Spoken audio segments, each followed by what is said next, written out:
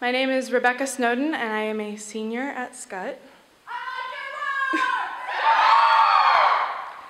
and this poem is titled Midnight Chess.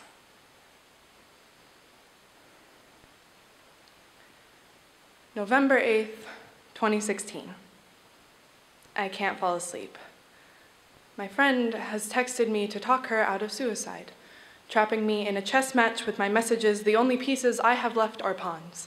There is no king on my side of the board. Instead, I am doing everything in my power to keep her playing this game already over, to stay out of check. I do not want her crown to fall. She tells me that she is scared, tells me that there are people in her community who knew who she was before she felt comfortable being a she, before she could slip, skin, and hide. I tell her to go to sleep. Sleep and dream, and when morning comes, you can forget. She tells me that I should too. But we both know we can't.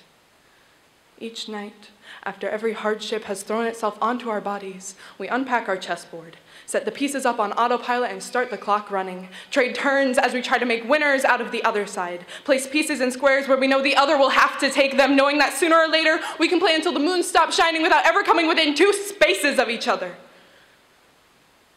So I wait up.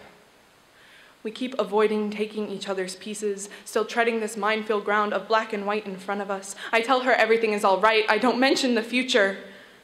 That's not how you hold someone. You stall instead, waiting timers out to their near end before making a play. We fight to keep our eyelids open to see the moonrise. That same space rock lighting the night sky bright above us both, our own personal lighthouse. I tell my friend that I won't go to sleep until she shows me proof that she's called a hotline. It's her move.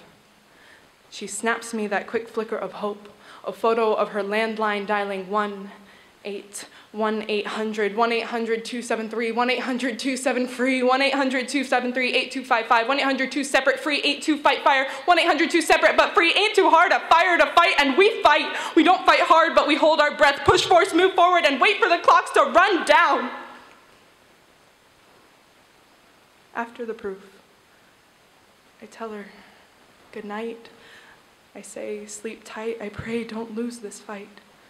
Keep that moonlight close as we pack up our chess game, putting all pieces back under the bed as though this match was never played. We sleep, or I sleep. I can only assume she did too.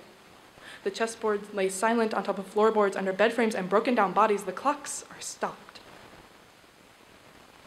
When I wake, I see the shadow of chess pieces lit from behind by the morning sun. And I know. I always know. We made it through.